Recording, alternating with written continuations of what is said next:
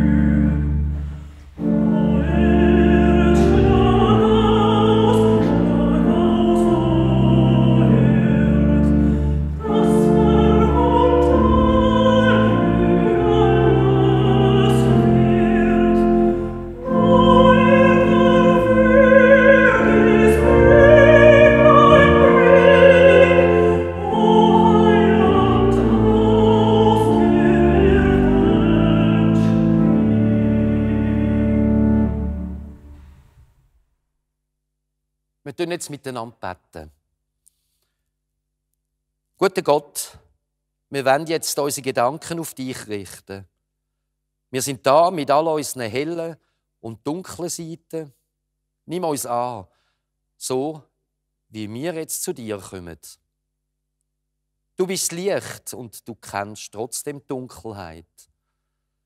Du strahlst auf in ein Licht in der Nacht und machst unsere Gedanken klar unser Herz warm, unsere Seele weit und unsere Zukunft hell. Du redest zu uns wie am ersten Tag. Es werde Licht, dass auch wir können Licht werden.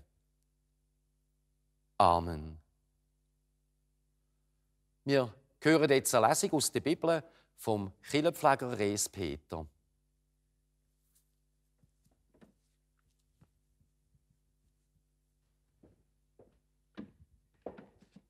Wir hören jetzt aus der Bibel der Prophet Isaiah, Kapitel 60. Mache dich auf, werde Licht.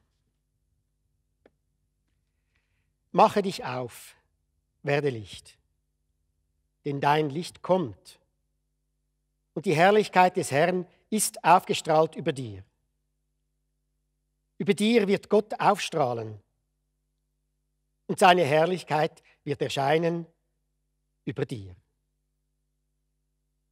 Und Nationen werden zu deinem Licht gehen. Blicke auf, ringsum und sieh.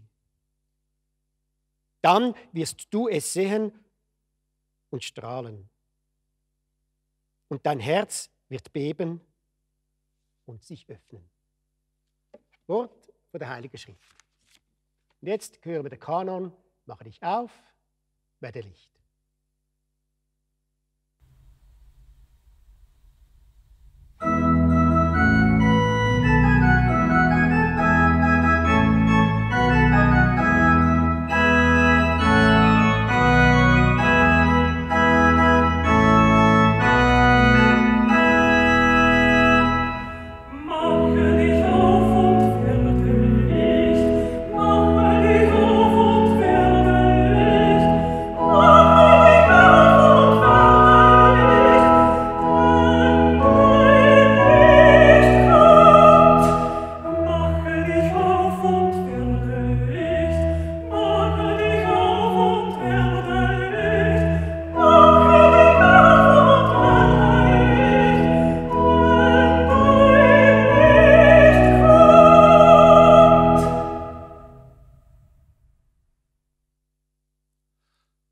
Machen uns jetzt miteinander auf den Weg zu einem besonderen Licht, wo Menschen leuchtet, wo ganz besonders Trost und Kraft nötig haben.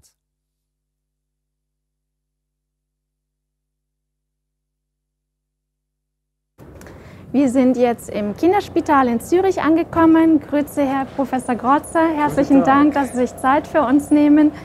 Wir gehen mit Ihnen gemeinsam jetzt zum Lightspace von James Turrell und möchten Ihnen dort auch noch einige Fragen stellen, bitte. Freut mich sehr. Willkommen. Dankeschön.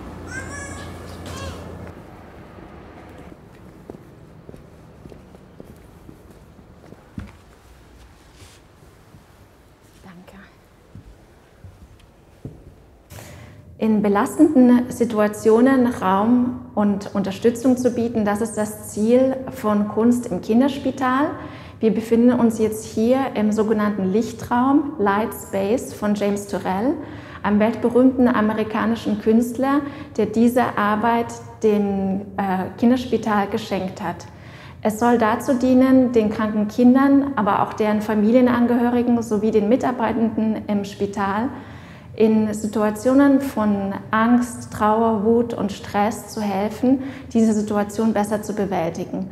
Sie sollen hier sich in diesem Raum wohlfühlen, sich hinsetzen können, sich dieser elliptischen Lichtquelle hingeben, das Licht langsam aufnehmen, sehen, wie es fließt, wie sich die Farben verändern und so hoffentlich auch ihre Gedanken und Gefühle fließen lassen können.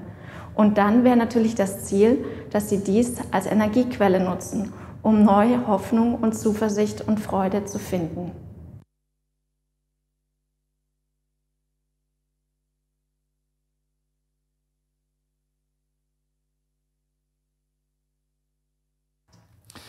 Der Raum ist ein ganz spezieller Ort, äh, wo auf eine sehr clevere Art und Weise mit Licht und Farbe geschafft wird, wo man innerhalb von ein, zwei Minuten komplett in einer anderen Welt ist und ganz neue Gedanken kann nachgehen. Insofern eine Oase, eine Insel mitten im hektischen Spitalbetrieb. Ja, ich gehöre sicher zu denen, die häufig äh, in den Raum kommen. Sagt das für ein spezielles Gespräch, sagt das für mich selber, sagt das auch mit Patientinnen oder Patienten. Ich bedanke mich ganz herzlich. Sehr gern.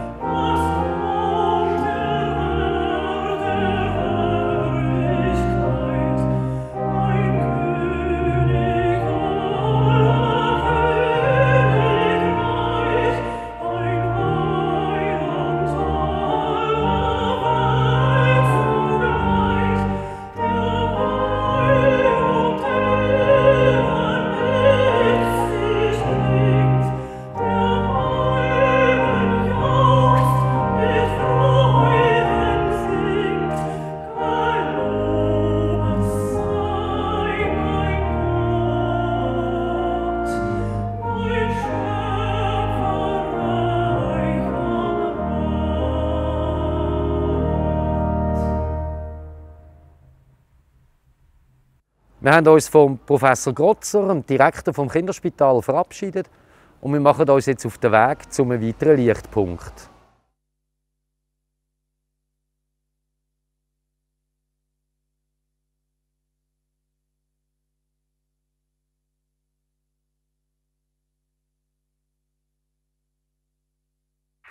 Carola Wiese, du bist Kunsthistorikerin und du hast uns die Werk von Terrell zuerst mal bekannt gemacht und uns jetzt auch hierher geführt. Was bedeutet die Lichtinstallationen für dich, speziell jetzt so in einer dunklen Zeit oder speziell heute am 3. Advent? Erfreuen, trösten, stärken. Das ist das, was wir gesehen haben im Kinderspital, in diesem wunderschönen Andachtsraum, Meditationsraum von James Turrell. Das ist eine Kraft, die daraus entsteht, wenn man sich in diesem Raum hingibt, wenn man sich auf das Licht einlässt, auf das Licht spielt, den Lichtfluss. Und das ist auch etwas, was ich selbst erfahren durfte und gerne erfahren hätte. Ich war im Sommer auch im Kinderspital. Mein Sohn hatte eine ungeplante Operation. Ich wusste nichts von diesem Raum und wie froh wäre ich gewesen, hätte ich auch gewusst, dass es so einen Raum gibt, wo man sich zurückziehen kann. Ich kannte andere Arbeiten von James Turrell schon und andere Lichträume. Und ja, von daher ist mir das ein großes Anliegen. Aber umso schöner, dass wir jetzt auch noch eine, Raum, eine neue Arbeit im Tageslicht zeigen können, die ähm, ja auch noch eine andere Facette von James Turrell zeigt, von seinem Schaffen und natürlich auch auf einem kleineren Raum. Und das ist mir sehr wichtig. Das ist auch eine Botschaft, eben, dass James Turrell mit diesem einfachen, scheinbar einfachen, armen Material, mit dem Licht arbeitet und damit aber so eine große Aussage erzielt. Jetzt ähm, hast du ja einen Favorit unter den Weihnachts- und Adventsliedern, eine Vorliebe, die ich nicht unbedingt Teil. Vielleicht äh, erzählst du mal etwas darüber, über das Lied, das wir jetzt gerade werden hören und singen miteinander. Ja, sehr gerne. Also so wie das Licht natürlich für Weihnachten steht und ein adventliches Symbol ist, ist es für mich natürlich auch der Tannenbaum. Wir hören jetzt dann das Lied O Tannenbaum. Für mich ist es mein absolutes Herzenswunsch und Lieblingslied. Ich bin damit groß geworden. Das war das Lied, das wir sogar im Sommer auf Autofahrten gehört und gesungen haben, wenn uns nichts anderes mehr einfiel. Eben und gerade die dritte Strophe, dein Kleid will mir was lernen. Ähm, Trost und Kraft und Beständigkeit gibt das eben, dieses Symbol des Baumes. Das ist für mich schon wirklich so. Und äh, ich bin ein riesen Adventsfan. Ich dekoriere jedes Jahr mit mindestens zwei Adventsgrenzen und überlege mir schon die Dekoration für dieses Jahr, fürs nächste Jahr. Ähm, also ich bin da mittendrin und mache das mit meinem Sohn mit großer Freude. Und deswegen, ja, es ist mein Lieblingslied und ich freue mich riesig drauf. Und es ist so schön, dass wir es jetzt hören dürfen. Ja. Besten Dank, Carola. Sehr gerne.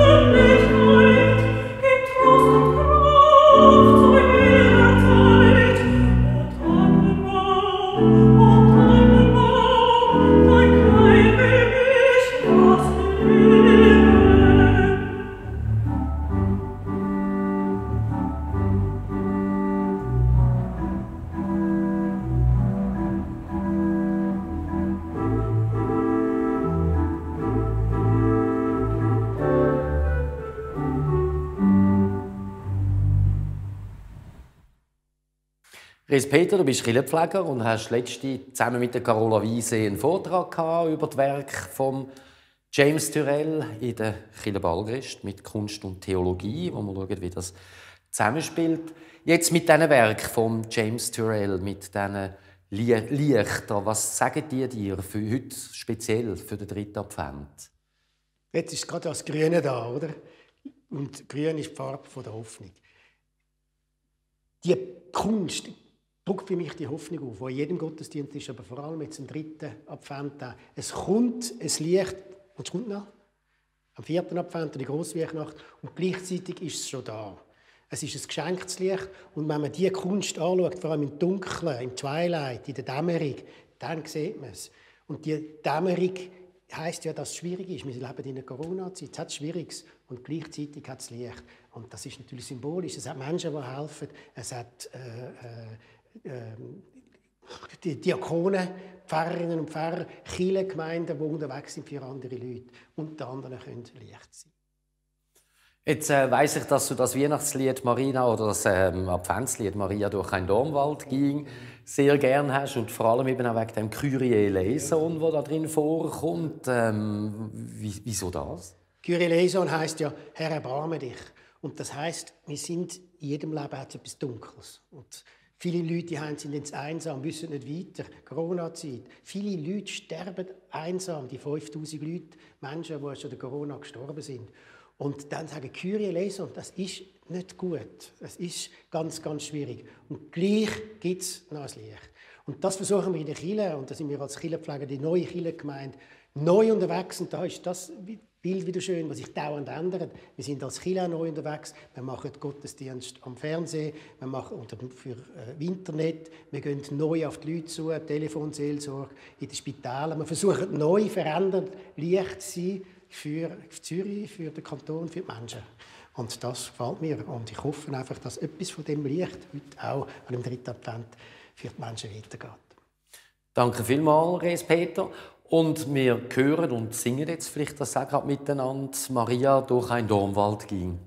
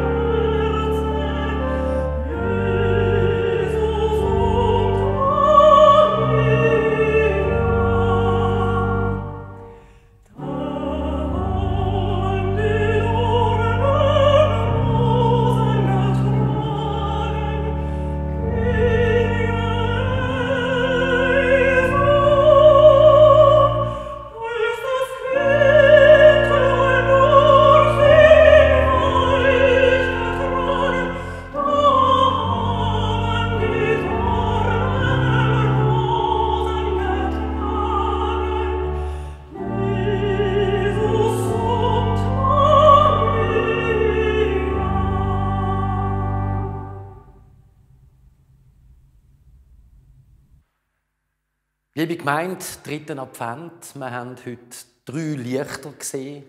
Einmal in der Kirche am Adventskranz und dann zweimal bei Kunstwerk. Auch wenn Sie mit dieser Kunst vielleicht nicht so viel anfangen können.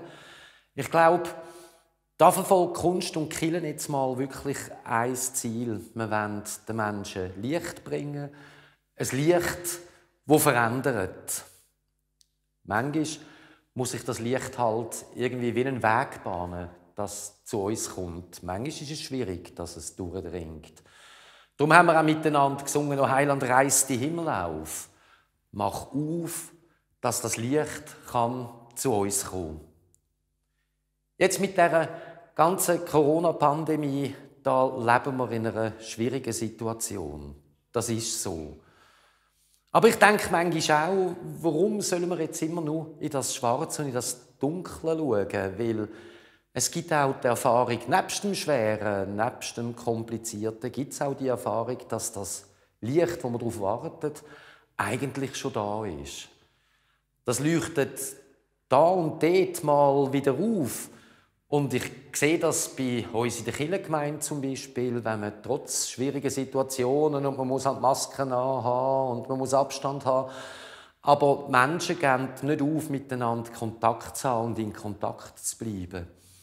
Oder ich sehe, dass Nachbarn einander sagen, ich gehe posten, soll ich dir gerade etwas mitbringen, wo da im ersten Lockdown auch das Posten und so schwieriger geworden ist. Oder ich sehe Familien, die miteinander Unsicherheit aushalten, vielleicht sogar Angst um jemanden, der erkrankt ist. Das sind Situationen, wo ich das Licht von Gott jetzt schon bei uns in der Welt leuchten sehe. Trotzdem eben, dass es äh, vielleicht manchmal dunkel ist. Und ich weiß auch jetzt in dem Advent, wo wir auf das Licht hoffen, dass eigentlich keine Nacht so dunkel kann sein, dass nicht auch irgendwie das Licht von Gott in die Nacht scheinen.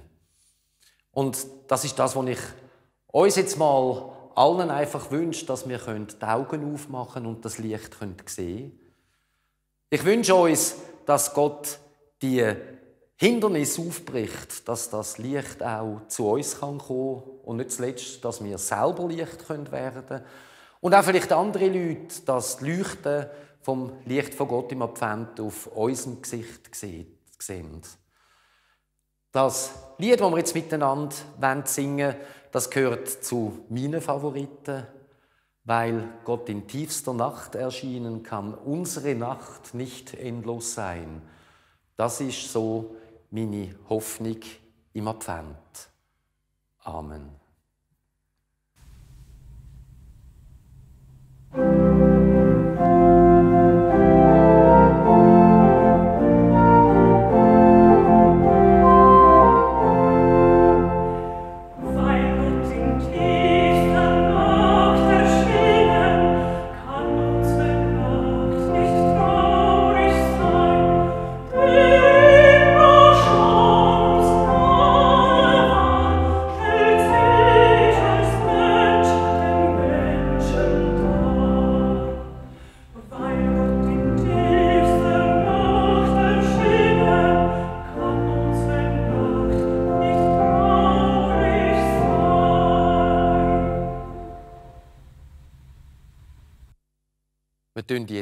Miteinander und füreinander beten. Guter Gott, ich danke dir für die Musik und für die Lieder im Advent. Sie bringen mir Licht. Wir bitten dich, mach du unsere Herzen und unsere Seelen ganz weit, dass du einen Platz findest bei uns.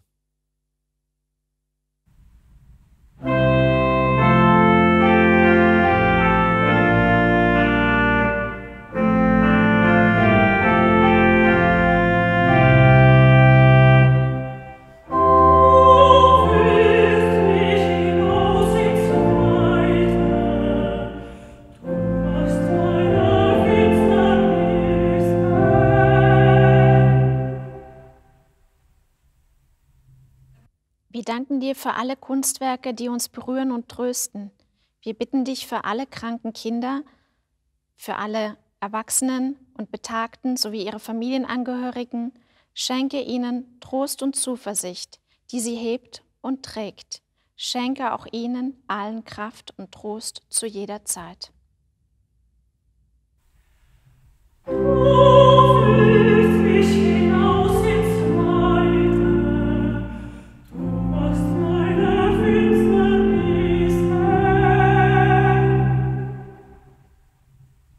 Lieber Gott, wir danken dir, dass du uns rausführst ins Weite. Wir bitten dich jetzt aber auch für alle, die kaum etwas mit der Kunst anfangen können, die sich nicht berühren lassen oder fast nicht von deinem Licht, von einem Neuanfang, der verändert.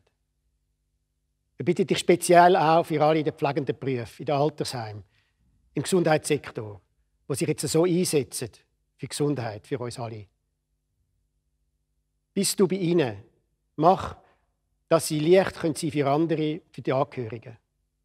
Und eben Gott, wir bitten dich aber auch für alle, die fröhlich sind, trotz Corona-Zeit, die sich freuen auf dein Fest.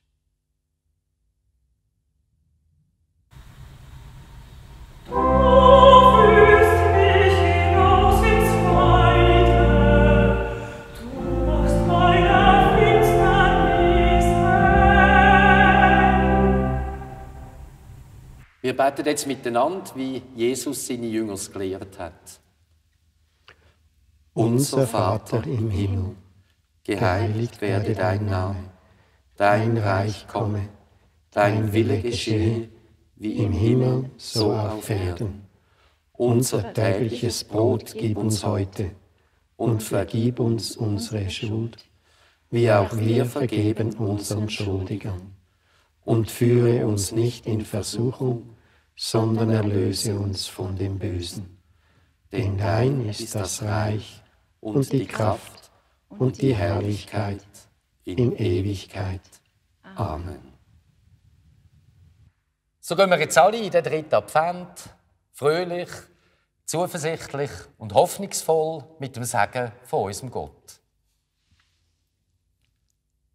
Der Ewige segne dich und behüte dich. Gott sei mit dir in frohen Stunden, Gott sei mit dir in schweren Stunden, wo du weder ein noch ausweist. Der Ewige lasse sein Antlitz dir leuchten und sei dir gnädig. Gott sei mit seinem Licht bei dir und in dir und mache dein Leben leicht und hoffnungsvoll. Der Ewige wende sein Antlitz dir zu und gebe dir Frieden. Gott wird dich nicht vergessen und er schenke dir die Ruhe und Gelassenheit, die nur er dir so geben kann. Amen. Amen.